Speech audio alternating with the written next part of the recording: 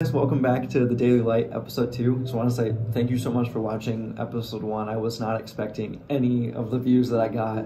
I truly was kind of blown away. It was it made my it literally made my whole day. Like it made so much. It meant so much to me. Um, I just want to say a big shout out to God because there was more than one person who reached out to me saying that's exactly the encouragement they needed to hear for that day, and just seeing the amount of people who promoted the video and shared it on their social medias and reached out to me saying that they shared it with some of their family and some of their friends and they, they loved it. And I just want to say thank you for that. Um, you guys are being kingdom workers by doing that. I'm slowly trying to, you know, be a be a, a vessel to bring some daily light into you guys so you can take that light manifest it, grow it, and spread it to others. I can only do so much myself, and I'm gonna I'm gonna keep trying to do that for as long as God tells me to keep doing it. So I just want to say thank you. Um, now I want to touch on a topic really quick though before um, before I forget to talk about it, as you know my mind gets crazy with all the homework and all the stress stuff going on with all, everything going on in this world. I think this makes this point ever more important something that gets me every single time I'm reading through the Gospels, which surprisingly I think is more often than I'd like to admit because I'll start reading it and then I'll stop for some reason and then I'll be like, well, shoot, now I gotta start from the beginning again. And in the beginning of Mark, actually Mark 1, verse 35, um, it's talking about Jesus. Clearly, it's the Gospel. And this entire part of Mark 1 just like talks about Jesus' ministry and all these different like miracles that he's doing like the first from 21 through 34 it's jesus healing the many and healing the unclean spirits and then from 40 onward is like cleansing the leper. But there's a little spot in between. And that first verse that i want to talk about is mark 1 verse 35 and it's talking about jesus and it says and rising very early in the morning while it was still dark he departed and went out to a desolate place and there he prayed. And it, it always strikes me whenever I hear this part because it's like, this is the Son of God. Like, this is Jesus we're talking about. And in between him doing the most miraculous things ever recorded in history, he has to take a dedicated moment out of his day, go separate himself from everybody else, and speak with the God who loves him. He speaks with his Father he goes and spends purposeful time with his father. I think that's amazing. So I was looking at it, and I'm like, every single time I see this, I'm like, well, if Jesus is doing it, I surely have to do it. I'm not perfect. Jesus was. And if Jesus had to do it, we sure as heck have to do it. Not only looking at it as Jesus did it, but you can look at just the, the mental benefits. You know, take take spirit out of it if you look at just the, the mental benefits of it, you can focus your mind on tasks that you have to do. You can reduce your stress exponentially.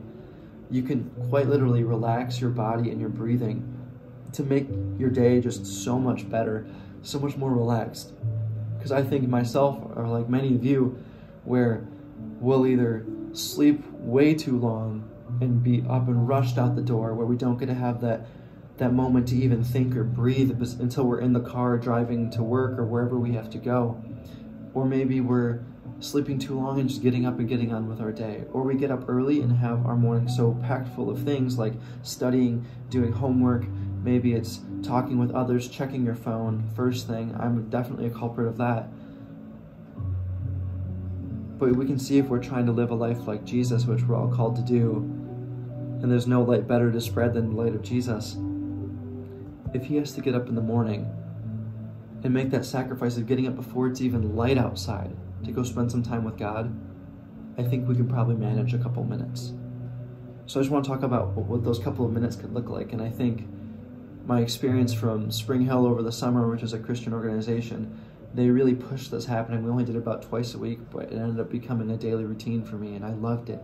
Because if you can get up and you can spend five minutes just five minutes with God, you'll find that that time easily flies by. If you just sit and listen, it can just be you and your body and your soul and your heart just open and listening to God's voice. Often God's voice comes in whispers, but when you finally hear it and you accept it and let it hit your heart, that whisper sounds as loud as thunder in your heart and in your soul. So I encourage you.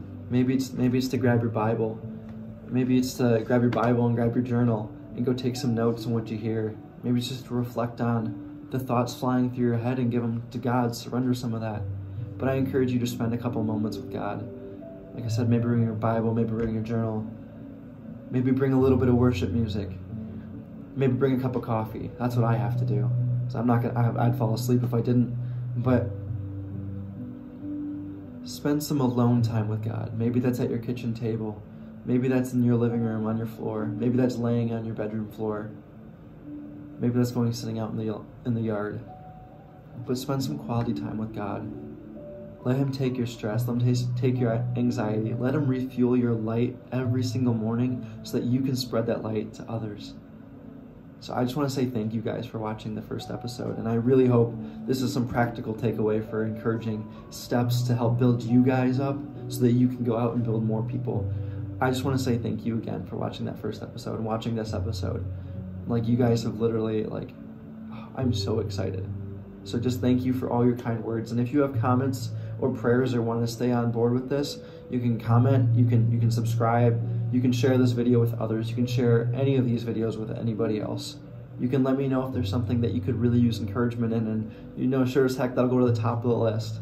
I don't really have a list right now by the way. I'm just kind of going with whatever God tells me to go with. But if you have something for me, I'd love to hear. Thank you for all who reached out to me before. And before I let you go, I just want to say a quick prayer and send you off on your day, okay? So let's get to it. Dear Heavenly Father, Lord, I thank you for the opportunity to be here speaking to so many people, um, just in the comfort of my own home. Lord, I thank you for caring about each one of us, and I thank you for the lives you've already impacted through just one video. Lord, I just pray that you use my, myself and you use everybody who's watching these videos to, to spread your light daily, Father to spread your light to those around us, our family, our friends, those who we interact with, even though that might not be a lot right now. Lord, help us build a habit of spreading that light now so that when this whole world comes back into order and, it, and we're back in the you know public, we're back interacting with people, that we're so much more comfortable with being that light and spreading your love, God. So I encourage each and every one of these people, God, that you be with them, that you ready their hearts and their souls and their minds for some quality alone time with you, God. Lord, I pray you speak to them. I pray you use that alone time to just work, work your wonderful, wonderful love and your works inside them, God.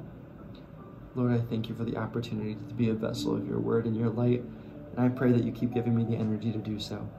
Lord, I love you and I thank you for this opportunity, and I thank you for being you and all that you do in my life and the lives of those listening, God. I ask all these prayers in your wonderful, glorious, and precious name, Father. Amen. Thank you so much, guys, and I'll see you tomorrow.